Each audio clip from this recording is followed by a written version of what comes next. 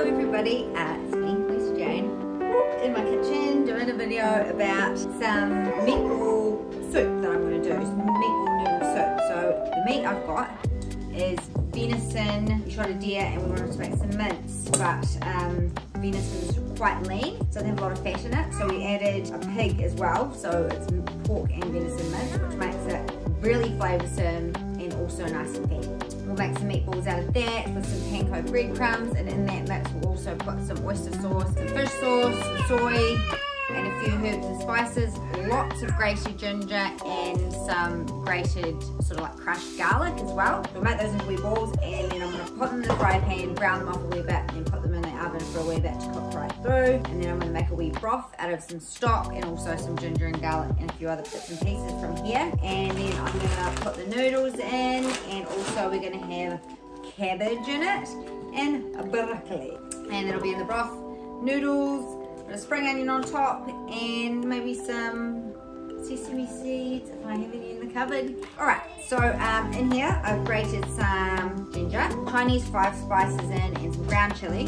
Just grating the garlic in. I think I've done about four cloves so far. Put that in there, goodness in. So that goes in there and then I think I like to put a little bit of sriracha. Always, always put sriracha. Fish sauce, just a wee dobbly wobble of that. Oh, oyster sauce. My partner always shuts things way too much force. Yep, put some of that in there. Good consistency, it's important. Don't want it too gooey and runny. You want to hold its shape, but you don't want it to also too dry. It's nice to have a nice moist meatball. I know how much you guys love me saying that word. Not. Chuck uh, panko breadcrumbs in there. Then it's your duty. So, in you go, and just tune it up with your hands basically like that. That's with what I chopped my garlic with. Great from Victory Knives. They're all amazing. Turn that up with the hands and then I like to make it into one flat dense pile. And then with my hand I like to just divide it down the middle like that. And then I divide cards into quarters. And then as I go, just take a quarter out, each quarter into four again roll them into a wee ball, nice and tight. And I'll put them in this oil from We'll It's also good for after sun care on your skin and for frying meatballs. organic too.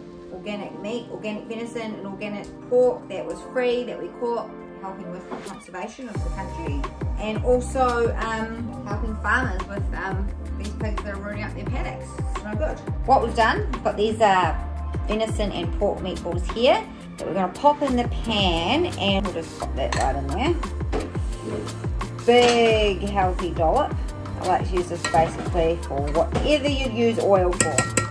It's got a real high smoking point and it just like adds this real nutty taste to whatever you're cooking. And then these balls of meat are just to go right in there. So what we're trying to do here is basically just brown them, add a bit of colour to the outside, and then sort of pop them in the oven to bake a wee bit. So we'll wet them in there. Yummy. Ah, they fit perfectly. Okay, so while those little balls of meat are sizzling away, just gonna add two cups of boiling water to the stock cubes that I put in there. And then in that goes grated ginger and garlic. Put that in there. And then basically just the same stuff we put into the meatballs. Mirror the flavours. It sort of ties the dish together a bit. I don't really know what I'm talking about. to be honest. It tastes good. I reckon it tastes good. Fish sauce. Doo -doo -doo. So that's to cook a wee way and then I'll put the put the noodles in there. Okay, so now these bad boys have browned up a wee bit. I'm just to pop them in this oven tray. Sort of keep them on on like 120, just sort of keeping them warm, but cooking a little bit as well on the inside. In the oven they go. Okay, so now we've got that broth boiling away. Just put some coconut oil in the pan. And then some broccoli. I love broccoli cooked in oil in the pan rather than boiled. I think it's just so much more flavoursome when you fry it. And then the cabbage goes in there like so. And then I like to put a little bit of soy sauce on it. Gives a little bit of a salty sort of taste. And then basically all we've got to do is put the noodles in there and we're done. Final step is to add the noodles into the broth.